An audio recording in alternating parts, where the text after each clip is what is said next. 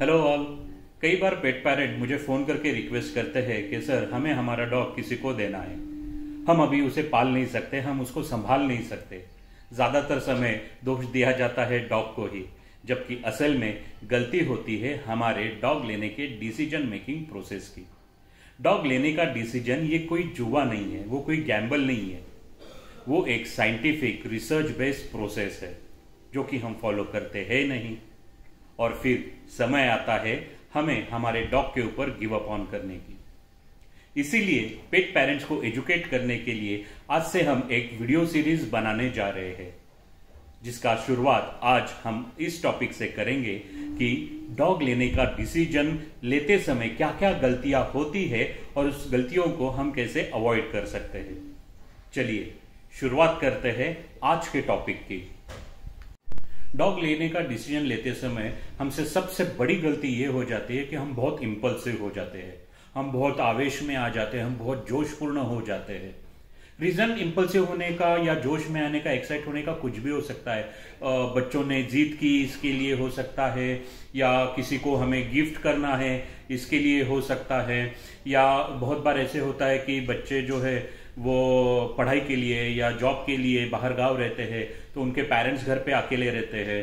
तो माँ बाप को एक कंपेनियनशिप देने के लिए एक जोशपूर्ण एक्साइटमेंट में डॉग परचेस करने का डिसीज़न किया जाता है।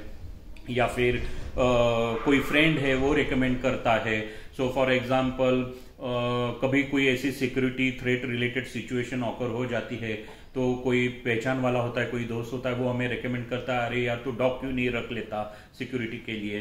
या फिर बहुत बार ये भी हो जाता है कि कोई साइकोलॉजिकल ट्रीटमेंट करने के लिए कहीं हमने पढ़ा रहता है या किसी से सुना रहता है कि डॉग को एज ए थेरेपी के लिए यूज़ किया जाता है तो हम बिना सोचे समझे डॉग को उठा के लेके आते हैं। लेकिन ऐसी चीज़ें नहीं होती है। हर एक डॉग थेरेपी डॉग नहीं रहता है। हर एक डॉग प्रोटेक्शन के लिए नहीं रहता है। हर एक डॉग कंपेनियनशिप के लिए नहीं रहता है। उसके बहुत सारे मायने हैं जो हमने कंसिडर करने ज़रूरी होते हैं। बहुत बार ये होता है कि सबसे पहले हम ये पूछना ही खुद को भूल जाते हैं कि क्या सही में हमें पेट की ज़रूरत है या नहीं। अगर आंसर हाँ है तो हमें डॉग ही एज ए पेट चाहिए। क्या हम उसे उतना समय दे सकते हैं? या हम कोई दूसरा अल्टरनेटिव जैसे कैट्स है बर्ड्स है फिशेस है, जो इंसानों पे ज़्यादा डिपेंड नहीं रहते, या उनको पालने के लिए ज़्यादा समय देने की ज़रूरत नहीं पड़ती, जितना कि डॉग को देने की ज़रूरत पड़ती है। क्या ऐसे पेट्स हम ले सकते हैं? फिर अगर आप डॉग लेने का ही डिसीज़न करते हैं तो फिर क्या आपके पास उतनी सफिशियंट जगह है? आपका फाइनेंशियल कंडीशन आपको अलाउड कर रहा है? वो बजटिंग वगैरह जो है वो अलाउड कर रहा है नहीं कर रहा है? उसकी ग्रूमिंग रिक्वायरमेंट्स होती है उसको एक्सरसाइज की रिक्वायरमेंट्स होती है सो so, उसकी ट्रेनिंग की रिक्वायरमेंट्स होती है तो क्या हम ये सब चीज़ें कर पाएँगे या नहीं कर पाएँगे? अकॉर्डिंगली आप डिसीज़न ले सकते हैं कि आपको डॉग लेना चाहिए या नहीं लेना चाहिए। हमसे दूसरी गलती होती है ब्रीड सिलेक्शन के समय। ज़्यादातर समय हम अपरंट लुक्स को मद्देनजर रखते हुए ब्रीड सिलेक्ट करते हैं। जैसे कि किसी को क्यूट डॉग चाहिए तो वो फरी डॉग लेगा। या किसी को डेंजरस लुक्स वाला डॉग चाहिए तो वो रॉट व्हीलर्स है या पिटबुल जैसे डॉग्स जो है जो मस्क्यूलर्स है या यू नो जो दिखने में किसी को स्केरी लगे वैसे डॉग्स का सिलेक्शन होता है। कभी कभी सोशल स्टेटस के लिए भी डॉग ब्रिड सिलेक्ट होती है। सो so, ज़्यादातर एग्जॉटिक ब्रिड जो होते हैं कॉस्टलियर ब्रिड जो होते हैं तो उनको सिलेक्ट किया जाता है क्योंकि वो महँगे हैं। सो so, उससे मेरा सोशल स्टेटस बढ़ जाता है। कभी कभी ब्रिड सिलेक्शन ये सेल्फ स्टीम के लिए भी लिया जाता है। सो जाइंट ब्रिड्स जो होते हैं उनको ज़्यादातर उसका इस्तेमाल किया जाता है अपना स्टीम सेल्फ स्टीम बढ़ाने के लिए। लेकिन ये सब ना करते हुए, जब आप इंटरनेट पे जाते हो और किसी ब्रीड के बारे में इंफॉर्मेशन लेते हो तो उसमें उसके सिर्फ़ लुक्स नहीं रहते। उसमें होती है कि वो, उसकी हिस्ट्री क्या है, कौन से ओरिजिन से है उसका ब्रीड का कौन सा वो ग्रुप है राइट तो वर्किंग ग्रुप है स्पोर्टिंग है वो, या वो टेरियर ग्रुप में से आता है। तो उसके अलग अलग पर्पज है वो ब्रीड के। उसके बारे में इंफॉर्मेशन आती है। वो ब्रीड से रिलेटेड कोई हेल्थ इश्यूज़ होते हैं यू नो जेनिकल इश्यूज़ होते हैं ब्रीड रिलेटेड जैसे कि जर्मन शेफर्ड जो है उस ब्रीड में थोड़ा सा हिप डिस्लेक्सिया या एल्बो डिस्लेक्सिया के चांसेस थोड़े ज़्यादा होते हैं, या फिर उनकी ग्रूमिंग रिक्वायरमेंट्स होती है। तो बट ऑब्वियस जो ब्रीड की कोट्स लॉन्ग है यू नो डेंस कोट है, उनको ग्रूमिंग रिक्वायरमेंट ज़्यादा होती है। फिर टेम्परामेंट भी वहाँ पे लिखा रहता है कि एक पर्टिकुलर ब्रीड का टेम्परामेंट किस तरह का रहता है। अलग अलग टेम्परामेंट्स के डॉग्स होते हैं अलग अलग पर्पज के लिए वो बनाए गए हैं। वो उस ब्रीड की एक्सरसाइज रिक्वायरमेंट क्या है? उस ब्रीड की स्पेस रिक्वायरमेंट क्या है? उस ब्रीड की मेंटेनेंस यानी कि उसका डाइट उसके वैक्सीनेशन वगैरह, उसकी रिक्वायरमेंट्स क्या है? ये सब इंफॉर्मेशन हम, हमारे हिसाब से अवॉइड करते हैं और सिर्फ़ वो डॉग में हम हमारा इंप्रेशन देखने की कोशिश करते हैं। तीसरी गलती हमसे हो जाती है डॉग लेने की प्रॉपर जगह को आइडेंटिफाई करने में। ज़्यादातर ये डिसीज़न कोई हमें मोबाइल पे किसी पपी का वीडियो या फ़ोटो भेज देता है और वो देख के ही हम डिसीज़न ले लेते हैं। लेकिन मैं पर्सनली रिकमेंड करता हूँ कि अगर आप डॉग अडॉप्ट करना चाहते हो तो प्रॉपर जेन्यून डॉग शेल्टर्स में ही जाकर ही आप अडॉप्ट कर लीजिए या आप डॉग परचेज करना चाहते हो तो जेन्यून ब्रीडर के पास जाके ही आप डॉग को परचेज कर लीजिए। फिर सवाल आता है कि हम कोई शेल्टर जेन्यून है या कोई ब्रीडर जेन्यून है, नहीं है, ये कैसे जाने? तो सबसे पहले आपके आस पड़ोस में या आपके जान पहचान में जो ऑलरेडी जो पेट पेरेंट है, आप उनसे मिलिए। उन्होंने कहाँ से पेट लिया, उनका कैसा एक्सपीरियंस रहा उसके बारे में रेफरेंसेस ले लीजिए, उनका फीडबैक ले लीजिए, उनका रिव्यू ले लीजिए, वो शेल्टर या वो ब्रिडर के बारे में। या आपके विसिनिटी में कोई वेटरनरियंस रहेंगे, कोई डॉग ट्रेनर्स रहेंगे डॉग वॉकर्स रहेंगे डॉग गुमर्स रहेंगे, उनसे बात कर लीजिए, उनसे कोई रेफरेंसेस ले लीजिए। रेफरेंस लेने के बाद उस शेल्टर को या उस ब्रीडर के फैसिलिटी को अपने विज़िट करना बहुत ज़रूरी है। आपने देखना ज़रूरी है कि वो शेल्टर में हाइजीन कैसे रखा जाता है या वो ब्रीडर की जो फैसिलिटी है, वो कितनी नीट एंड क्लीन है। वहाँ पे डॉग्स को किस तरह से ट्रीटमेंट किया जा रहा है। यू नो वहाँ पे जो शेल्टर के इंचार्ज रहेंगे, जो अथॉरिटीज़ रहेंगी या ब्रीडर रहेगा, वो वहाँ के डॉग के साथ कैसे बर्ताव कर रहे हैं, उनका कम्युनिकेशन कैसा है उन डॉग के साथ। उससे आपको पता चल जाता है कि उनका इमोशनल अटैचमेंट किस लेवल पे है उनके डॉग्स के प्रति। फिर आप दूसरी चीज़ कर सकते हो कि आप उनकी हेल्थ स्क्रीनिंग के बारे में बात कर लीजिए। ज़्यादातर जेन्यन डॉग शेल्टर जो होते हैं, वो रेगुलर चेकअप्स कराते हैं, उनका वैक्सीनेशन कराते हैं, या वो डॉग्स को न्यूटर कराते हैं, उनको ऑपरेट कराते हैं। ब्रीडर्स जो होते हैं, वो भी डीवॉर्मिंग वैक्सीनेशन इसका प्रॉपर रिकॉर्ड रखते हैं। तो वो रिकॉर्ड आप चेक कर सकते हो उसके बारे में। दूसरी चीज़ आप ये कर सकते हो कि जो शेल्टर चला रहे हैं या जो वॉलेंटियर्स है वहाँ के या जो ब्रीडर है, उनको खुद को कितना नॉलेज है डॉग्स के बारे में, ताकि आप उनसे कुछ सजेशंस ले सके राइट उनके एक्सपीरियंस का, उनके एक्सपर्टीज का आप कुछ फ़ायदा उठा सके। ज़्यादातर जो जेन्यून शेल्टर के वॉल्टियर्स रहते हैं या जो इंचार्ज रहते हैं या ब्रीडर जो रहता है, वो आपको मैक्सिमम समय देगा। वो आपके मैक्सिमम सवालों का जितना डिटेल हो सके उतना डिटेल में जवाब देने की कोशिश करेगा। इतना ही नहीं, वो ब्रीड्स के बारे में डॉग्स के बारे में आपको एक्स्ट्रा इंफॉर्मेशन देगा। वो सिर्फ़ आपके सवालों का जवाब नहीं देगा तो वो आपको कुछ सवाल पूछेंगे भी, ताकि वो मेक श्योर sure कर सके कि उनके शेल्टर का या उनके ब्रीडिंग लगा लाइनेज का जो पपी है, वो सुटेबल होम में जा रहा है या नहीं जा रहा है। So it shows that their concern about their puppy ऐसे नहीं आया तो पटापट दे दो भाई और अपना काम निकाल लो। ठीक है? फिर दूसरी चीज़ होती है कि उन्होंने पपी का एनवायरमेंट कैसे दिया हुआ है? वो पपी जो है शेल्टर में या ब्रिडर में, वो आइसोलेटेड है क्या? या उनको सोशलाइजेशन का अपॉर्चुनिटी मिल रहा है, बाकी पपीज के साथ, बाकी डॉग्स के साथ। दूसरी चीज़ होती है कि जो जेन्यून शेल्टर्स जो होते हैं या जो ब्रिडर जो होता है, वो आपके सारे डिटेल्स लेते हैं और कम से कम छः महीना वो आपको पपी देने के बाद कम से कम छह महीना वो आपका फॉलोअप लेते हैं जस्ट टू मेक श्योर कि आप पपी को सही तरीके से संभाल पा रहे हो या नहीं संभाल पा रहे हो। जो जेन्यून शेल्टर्स रहते हैं या ब्रिडर्स रहते हैं, वो गवर्नमेंट अथॉरिटी का उनको प्रॉपर रिकॉग्निशन रहता है, वो रजिस्टर रहते हैं। ब्रीडर्स जो है, वो किसी केनल क्लब का मेंबरशिप हो सकता है, वहाँ पे रजिस्ट्रेशन हो सकता है। Animal welfare board of India के पास उनका रजिस्ट्रेशन होगा एनजीओ है या कोई केनल है तो। सो ये सब चीज़ें अपनी देखनी बहुत ज़रूरी होती है। पर्सनल विज़िट करना, वो अगर अपॉर्चुनिटी मिले तो वो पपी के पेरेंट्स को मिलना उनकी मदर को उनके फादर को ताकि एक आपको अप्रोक्सीमेटली आइडिया जाती है कि किस टाइप का टेम्परामेंट इस पपी का होगा। सो uh, थोड़ा सा आलस को दूर करके थोड़ा सा पर्सनल विज़िट करके पर्सनली इन्वेस्टिगेट करना बहुत ज़रूरी है रादर देन कोई आपको इजीली आपके घर पे पपी लाके दे रहा है या किसी पर्टिकुलर जगह पे एक्सटर्नल जगह पे लाके आपको पपी दे रहा है जो आपके सहूलियत का हो। तो थोड़ी सी सहूलियत को बाहर रखिए, बाजू में रखिए और थोड़ा एक्स्ट्रा एफर्ट्स डालिए जानने के लिए कि आपके पास सही पपी सही कंपैटिबल पपी आ रहा है या नहीं आ रहा है।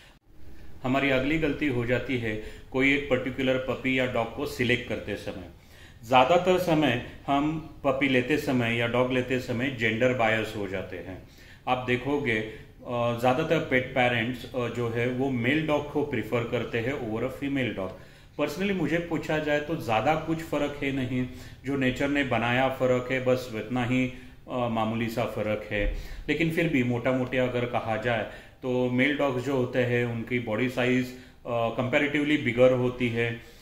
मेल डॉग्स टेरिटोरियल थोड़े से ज़्यादा होते हैं। लेकिन उसका दूसरा प्रॉब्लम यह है कि वो इंडोर आउटडोर उनका टेरिटोरियल मार्किंग करना शुरू कर देते हैं इन देयर अर्ली स्टेज जब वो आठ नौ महीने के हो जाते हैं फ़र्स्ट टाइम टेरिटोरियल मार्किंग करना सीख जाते हैं जेनेटिकल होता ही है।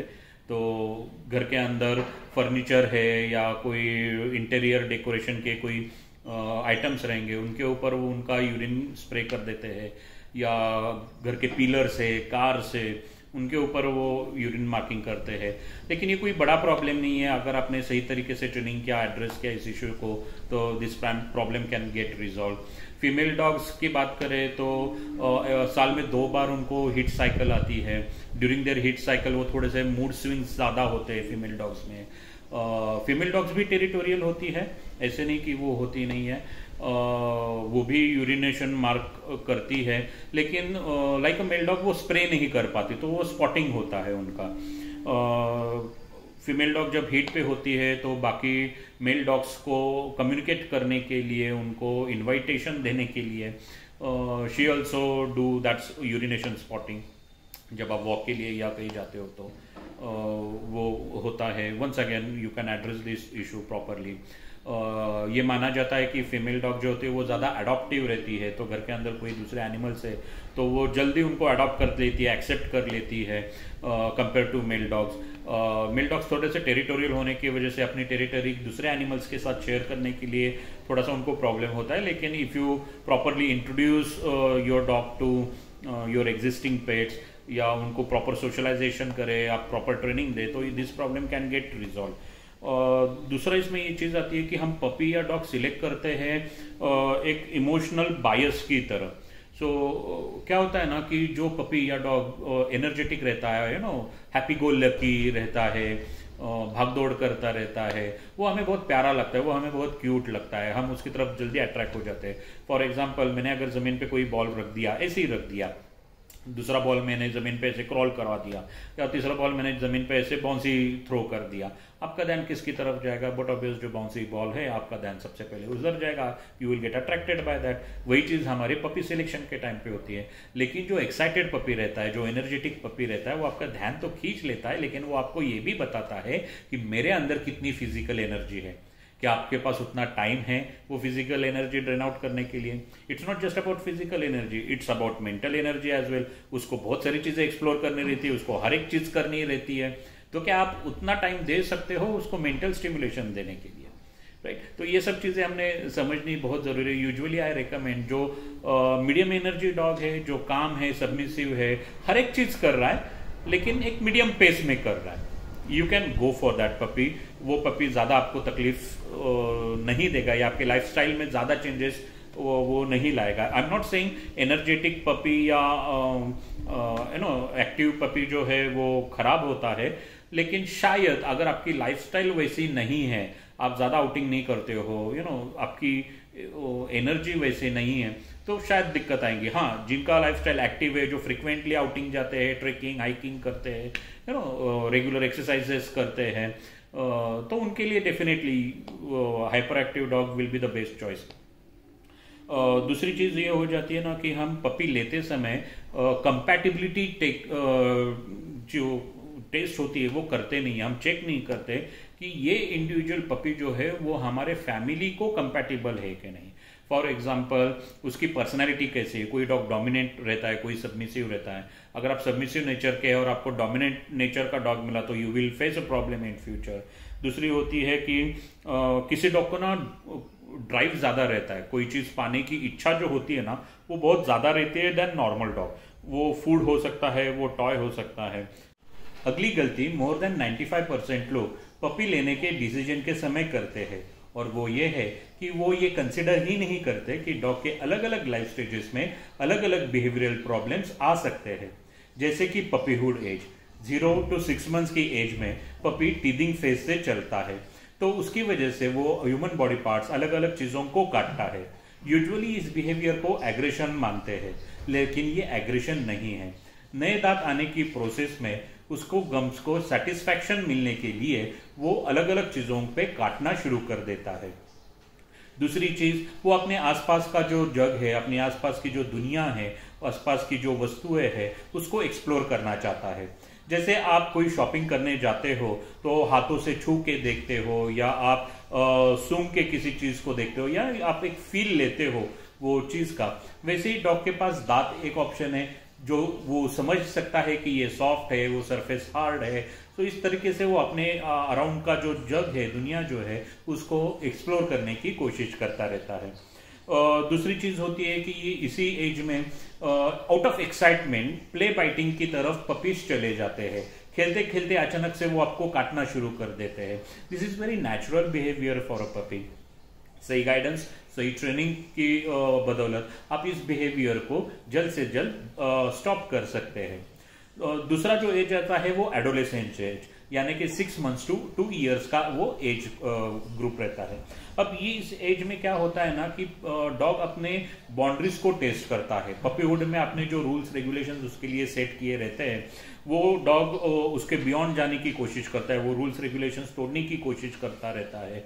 आपको सिर्फ़ उसी समय पे आपके ट्रेनिंग के ऊपर फोकस रखना है, आपका जो बेस है उसको स्टिक करना है और जो भी रूल्स रेगुलेशंस आपने सेट किए, वो आपको बार बार री करने रहते हैं।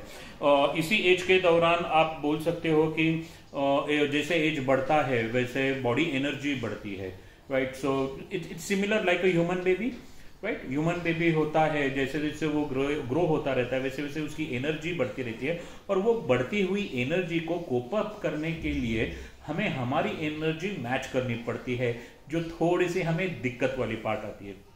लेकिन ये बहुत ही नेचुरल है, जैसे जैसे एज बढ़ेगा, ये एज में पर्टिकुलरली एडोलिसेंस एज में डॉग यंग होता रहता है तो उसको बहुत सारी चीज़ें एक्सप्लोर करनी रहती है उसको बहुत सारी चीज़ें जाननी रहती है बहुत कुछ करना रहता है तो इट्स लाइक like बदन में जान है और मन में बहुत कुछ करने की इच्छा है। तो इस टाइप की वजह से आ, हमें थोड़ी सी दिक्कतें आ सकती है। सही मात्रा से अगर हम एक्सरसाइज दें फ़िज़िकल और मेंटल स्टिमुलेशन दे तो ये प्रॉब्लम को हम आ, आसानी से डील कर सकते हैं। बाद में आ जाता है कि ये एज ग्रुप में because of hormonal changes reactivity बढ़ जाती है। सो so, जो पहले डॉग किसी डॉग के ऊपर भोगता नहीं था एग्रेशन नहीं दिखाता वो डॉग टू डॉग एग्रेशन दिखाना शुरू करेगा या aggression towards any other animal दिखाना शुरू करेगा या बिकॉज़ ऑफ़ हार्मोनल चेंजेस या टेरिटोरियल बिहेवियर वो स्ट्रेंजर्स के ऊपर रिएक्शन दिखाना शुरू करेगा। So we need to address this issue issue by proper socialisation focusing once again our training roots जो हमारा बेस है ट्रेनिंग का, वापस उसको री करना है, वापस उसको प्रैक्टिस क्रिएट करनी है रियल्स करना है, जिसकी वजह से आप ये बिहेवियरल इश्यूज़ को एड्रेस कर सकते हैं। फिर उसके बाद जो उसका एज जो आता है वो हम बोल सकते हैं कि सीनियर कैटेगरी का जो एज होता है जो कि आता है सेवन प्लस ईयर का। अब इसमें क्या होता है ना कि ओल्ड एज की वजह से उनके अंदर कॉग्नेटिव डिसफंक्शन होता है कॉग्नेटिव डिसफंक्शन होने की वजह से डॉग थोड़ा सा कंफ्यूज हो जाता है। आप देखोगे कि वो बार बार एक ही जगह पे गोल गोल घूम रहा है। राइट पानी पीने जाएगा लेकिन पानी पीना पिए वापस चला आएगा। आ, उसको आ, क्या बोलते हैं उसको? डिसोरिएंटेशन हो जाता है। आ, उसके स्लीपिंग पैटर्न में चेंजेस आने शुरू हो जाते हैं। बिकॉज़ ऑफ़ ओल्ड एज ये सब चीज़ें होती है। फिर ओल्ड एज में डॉग का टॉलरेंस लेवल जो है वो कम हो जाता है। तो वो रफ हैंडलिंग पसंद नहीं करता है। यू नो उसको बहुत प्यार से, आराम से उसको हमें टाइम देना पड़ता है। बहुत प्यार से उसको हैंडल करना पड़ता है। फिर उसमें because of age factor once again house spoiling के भी एक्सीडेंट्स होते रहते हैं। So we need to understand कि ये आपके ट्रेनिंग का फेल्यूर नहीं है ये डॉग कोई पर्पजफुली कुछ कर नहीं रहा है। Now because he is now getting older and older उसमें थोड़े से uh, उसके फिजिक के ऊपर उसका कंट्रोल छूट रहा है। उसके uh, सोचने समझने के तरीके के ऊपर उसका कंट्रोल छूट रहा है। आई होप ये वीडियो आपको काफ़ी हेल्पफुल और इन्फॉर्मेटिव लगा रहेगा। इसके बारे में मैंने डिटेल में चर्चा मेरी book Crafting Paws and Tails में की है। ये बुक अमेजोन के ऊपर अवेलेबल है, जिसकी लिंक मैं इस वीडियो के डिस्क्रिप्शन बॉक्स में मेंशन कर रहा हूँ। Thank you